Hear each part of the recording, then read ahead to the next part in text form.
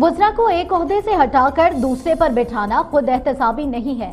League report کو خود public کرنے کا ڈرامہ رچایا گیا۔ لیگی رہنما مریم اورنگزیب کی تبدیلی سرکار کی تبدیلیوں پر کڑی تنقید۔ کہتی ہیں، خود احتسابی صرف تب ہوگی جب ناب چیئرمین عمران خان اور گزدار صاحب کو گرفتار کریں گے۔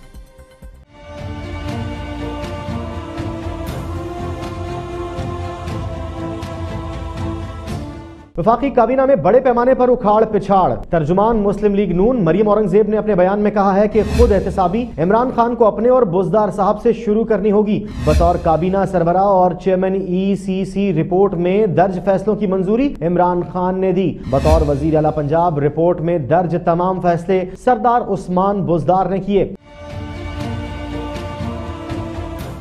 مریم اورنگزیب تبدیلی سرکار کی تبدیلیوں پر سخت تنقید کرتے ہوئے کہتی ہیں کہ خود احتسابی کا ڈرامہ کر کے عوام کو بیوقوف نہیں بنایا جا سکتا۔ خود احتسابی صرف تب ہی ہوگی جب نیب چیئرمین عمران اور بزدار صاحب کو گرفتار کریں گے۔